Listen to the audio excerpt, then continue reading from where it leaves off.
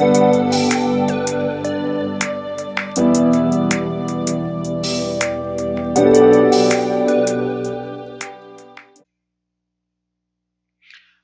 folks, so this video we're going to talk about how do we do a hypothesis test uh, for a mean whenever the population standard deviation is known.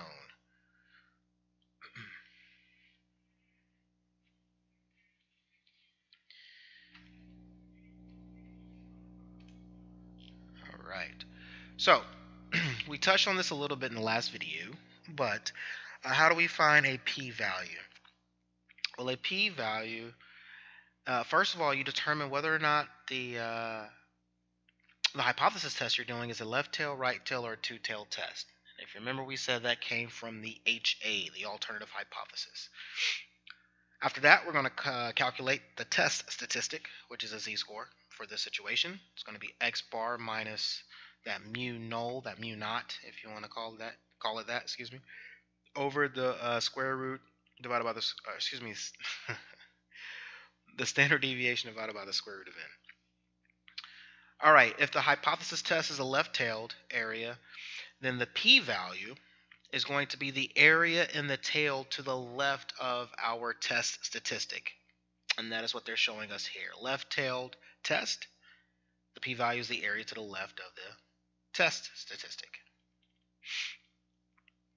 For right-tailed test is the opposite situation the area is now, the p-value is now the area to the right of the test uh, statistic.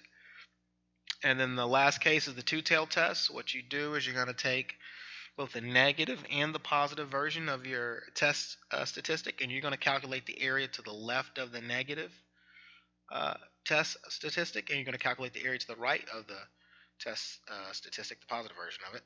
And then that combined area gives you your two-tailed area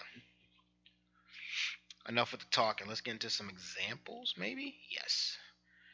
A researcher is interested in testing the claim that a pain medication reduces pain on average in less than 21 minutes after taking the dosage. To test the claim, uh, the researcher collects the following data on a sample mean of 35 patients who took the pain medication and recorded the time for the medication to take effect. The researcher finds that the sample mean is 20.26 uh, minutes. From past data, it is known that the population standard deviation is 3.5 minutes. Find the p-value for this hypothesis test and round your answer to three decimal places. Um, first and foremost, they left out a little bit of information here. I did not talk about this in the last video, but there are conditions that need to be met for hypothesis testing of the population mean. Okay, so the conditions are as follows. In fact, the conditions come from the central limit theorem. So if you remember uh, the last video, the last few videos about uh, confidence intervals. So look, you can do what's called a z-test. You can do a z-test if, so the central limit theorem says, if you don't know the status of your distribution, if you don't know the, the distribution of your population, then either you can uh, assume that the distribution is normal if your sample size is greater than or equal to 30.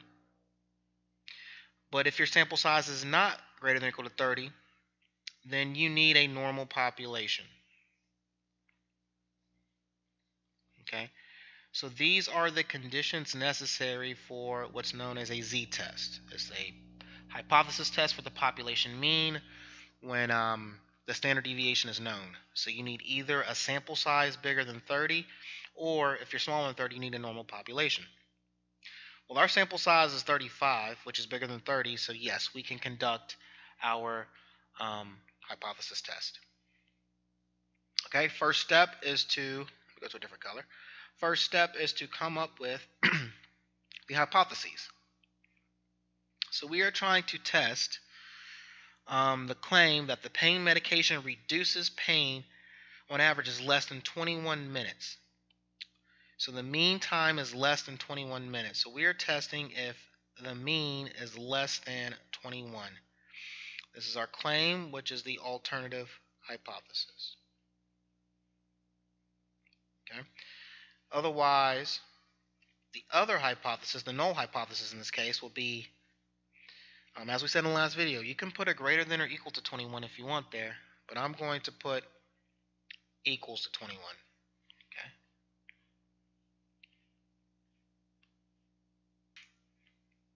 Okay, so the claim is the thing that we're testing, we're testing to see, come on, we're testing to see if the mean is less than 21. All right, next step. We're trying to get the p-value. How do we get the p-value? Well, first of all, we need to calculate the test statistic. So here we go. I'm going to call this z-test. So our test statistic will be x bar minus mu null over the standard deviation divided by the square root of n. Okay, so this is similar to the end of the last video. X bar, that is our sample mean. So they tell us that the sample mean is 20.26 minutes. So we're going to take 20.26, subtract away mu naught, which is uh, your hypothesized mean. This is the number that's in your hypothesis, which is 21. So we're going to take 20 points, 26, minus 21 divided by our population standard deviation of 3.5 divided by our sample size, or the square root of our sample size, so it'll be the square root of 35, because remember there were 35 patients. Alright, now we just have to go to our calculator, and let's get a z-score here. So let's see, let me pull up the calculator. Okay, so it's open parentheses, 20.26 minus 21, close parentheses, divided by, open parentheses, uh, what was the standard deviation? 3.5, I want to say, divided by the square root of 35. All right, close that denominator up, hit enter, and there we go. To uh, what do you want to do? Let's do three decimal places. Why not? To three decimal places, our z-score is a negative 1.251. So this is a negative 1.251. Okay. Now, what is the p-value? What's the picture for the p-value? It is as follows. This is what a p-value is. If we have our normal distribution, I know I'm slanted a little bit, don't worry about that. Um, this is the standard normal distribution, so we're talking about z-scores. And a negative 1.251, remember we're centered right at uh, z equals 0. So let me actually do this. So if I remember our uh, discussion on the normal distribution, right here is where z is equal to 0. So a z of a negative 1.251 is somewhere over here. So let's call that z is a negative 1.251. Our p-value will be the area either to the left or to the right of that negative 1.251. Well, how do I know which way to go? This goes back to the fact that this is a left-tailed test. How do I know it's left-tailed? Because our HA is a less than. So the p-value is going to be that shaded area right there. Okay? Well, how do we get that area? If you remember from the lecture on um, how to calculate probabilities using normal CDF, this is what this is going to be. It's normal CDF where, remember, we need four things for the normal CDF. We need a lower bound. Well, the lower bound for the z-scores here is negative infinity, which we're going to write as negative 1 E99. The upper bound is going to be that negative 1.251. Mean is 0 because it's the standard normal distribution. It's the center of the distribution. And the standard deviation is 1 for the z distribution. So let's put that into our calculator. VARS, normal CDF. Lower bounds negative 1 E99. Upper bounds the negative 1.251. Mean is 0. Standard deviation is 1. Let's put that on the home screen. Let's hit enter. And there is our p-value. That is our area to the left of that z-score. To three decimal places, it's a 0.105. So that area is a 0.105. So our p-value is a 0.105.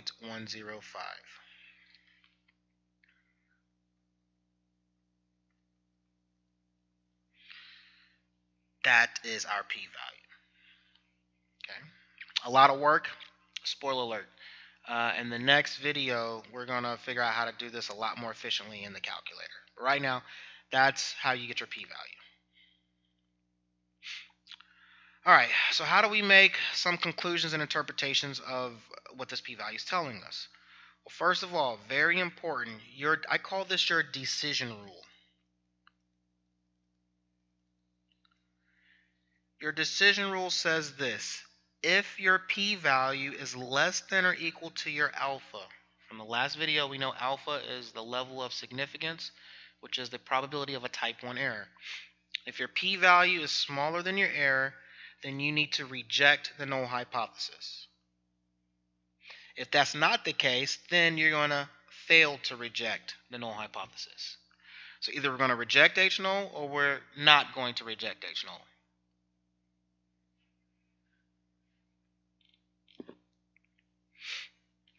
So once you make your decision, now the last step is how do you make what I call interpretation, but here they're calling it a conclusion, same deal. Well, this is how your conclusion is going to work out. Let's say your claim is a null hypothesis. Okay? Let's say your claim is a null hypothesis. Well, if your claim is a null hypothesis, then your conclusion will be one of the following. Either you're going to say that there is enough evidence to reject the claim, or are you're going to say that there is not enough evidence to reject the claim. So what's going on here is that, well, the whether or not you have enough evidence or not, that's based off of your decision. Okay? If you reject the null hypothesis, that means that you have enough evidence. If you fail to reject, that means that there's not enough evidence. And just the easiest way to memorize that is I always tell my class the word fail. Key on that word fail. Anytime you fail something, that means there's not enough, right? When you fail an exam, there's not enough points. So if your decision has the word fail in it, that means there's not enough evidence. And because the claim is a null hypothesis, that's where this rejecting the claim part's going to come in. Okay? So rejecting the claim comes from the fact that you have a null hypothesis. The evidence comes from your decision of you either rejecting H null or failing to reject H null. What if instead your claim, the thing that you're testing, what if it's an alternative hypothesis? Well, now, once again, you can have two possible interpretations in this uh, scenario. Either you say the conclusion is that there is enough evidence to support the claim, or there is not enough evidence to support the claim. Once again, the difference between whether or not there's enough evidence or not enough evidence, or some may say insufficient evidence, is based off of your decision. Once again, anytime you see fail, that means not enough. So if your decision is to fail to reject, not enough evidence. But the difference between these conclusions and the conclusions uh, before is this keyword support. Well, now we're going to talk about supporting because our hypothesis is now, or excuse me, our claim is the alternative hypothesis. So basically, putting this all together, there are four possible conclusions based off your scenario. Either you'll say there's enough evidence to reject the claim, or there is not enough evidence to reject the claim, or there is enough evidence to support the claim, or there is not enough evidence to support the claim. Every hypothesis test will have one of those four conclusions, just one. All right. So let's go back to this. So this is the question we did earlier. so I'm just going to copy our work. So the research is interested in testing the claim that a pain medication reduces the pain on average in less than 21 minutes. So that means that if you remember, our claim was that mu was less than 21. This was our claim, and our, that claim happens to be an alternative hypothesis. H null, on the other hand, was mu equals 21. Okay, if you want to refresh on that, just rewind this video about three minutes ago. All right, we did some work. We got a test statistic of a negative, uh, what was it? Uh, negative 1 point, I think it was 251. Let me double check. What was our test statistic? Yes, it was a negative 1.251. And we got a p-value of a 0.105. All right, so here we go. What they want us to do is they want us to basically make a decision and come up with the interpretation for this test using a significance level of 5%. That is our alpha. Alpha for this is 5% or 0.05. Always convert your percents to decimals. Here we go. So what's the decision? What you do is you take your p-value, in our case is a 0.105, and you compare it to your alpha, which is a 0.05. What I'm going to do is I'm going to add an extra 0 on my alpha there. It doesn't change the fact it's still a 0.05. But now it's easier to compare. 105 compared to 50. 105 is greater than 50. Which means I'm in the case where my p-value is actually greater than alpha. Well, remember our decision rule. Our decision rule says if your p-value is less than or equal to alpha, you reject H null. Well, that is no longer the case. We have a p-value that's greater than alpha, so we don't reject H null. We're going to fail to reject H null. So our decision is that we should fail to reject the null hypothesis. That's a decision. What's the actual interpretation? Well, the interpretation is because we are failing to reject, because we're failing, there is not enough evidence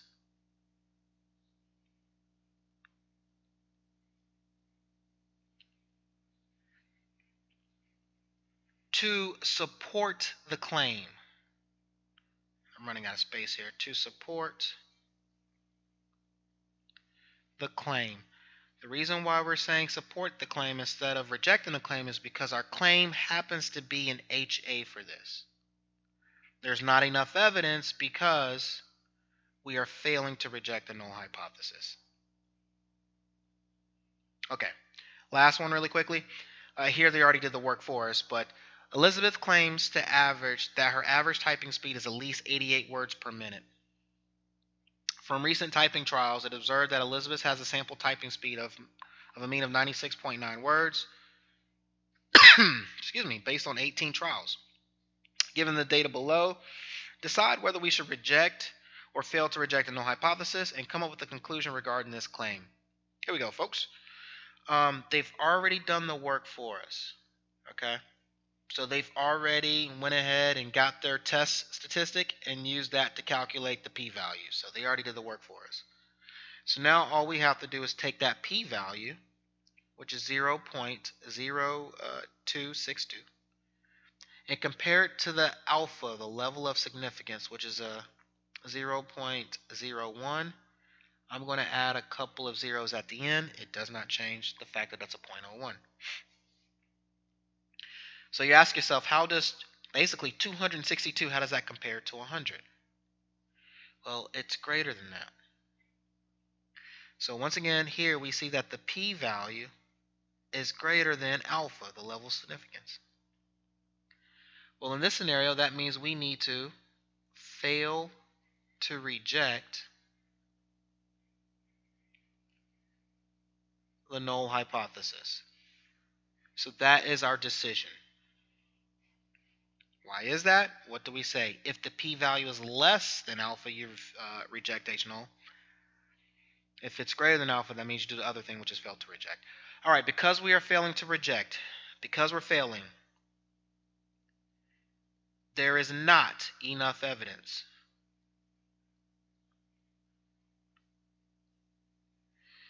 To this time the claim was an H null. Remember, she's claiming that her speed is at least 88. So her claim is an H null. So there is not enough, enough evidence to reject the claim.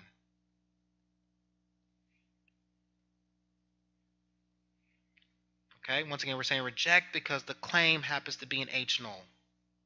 In the previous question, if you want to know the difference, the claim was an HA. That's why we said support in the previous example. Okay, see you folks in the next video.